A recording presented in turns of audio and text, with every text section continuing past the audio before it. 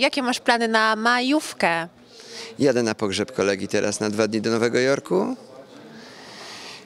Jest mi strasznie przykro, mam bardzo, bardzo słaby czas. Yy, I wracam szybciutko do mojej żony, żeby już, już drugiego wracam, więc będę z nią. E, Mamy pracę, trochę musimy pojeździć e, zawodowo, ale też i trochę będzie czasu na odpoczynek, więc, więc trochę połączymy e, pracę z obowiązkami. Mam nadzieję, że, e, że będzie dobra pogoda przede wszystkim. Y, Plany na majówkę w pracy. Naprawdę? O matko, czyli zero odpoczynku. No, my gramy dla Państwa y, najczęściej spektakle teatralne właśnie w te wolne dni, kiedy Państwo mają wolną majówkę i ci, którzy nie wyjeżdżają na zieloną trawkę, y, mają ochotę spędzić miło wieczór i pójść sobie w te kilka wolnych y, dni przyjść do teatru.